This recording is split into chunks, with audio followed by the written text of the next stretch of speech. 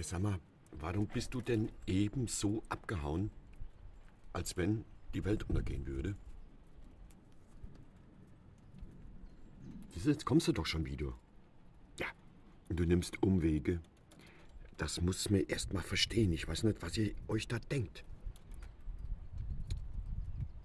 Vielleicht kein Angriff vom Greifvogel auf diesem Weg. Irgendwie sowas, ne?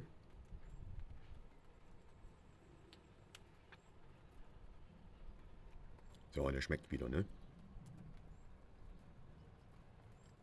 Oh, ich habe die ganzen Nüsse schon wieder geholt. Haferflocken sind auch schon wieder leer. Eieieiei, da ist man mal kurz weg. Und da ist hier oben volle Bulle was los, ne? Naja, muss ich wieder auffüllen. Das werde ich jetzt tun.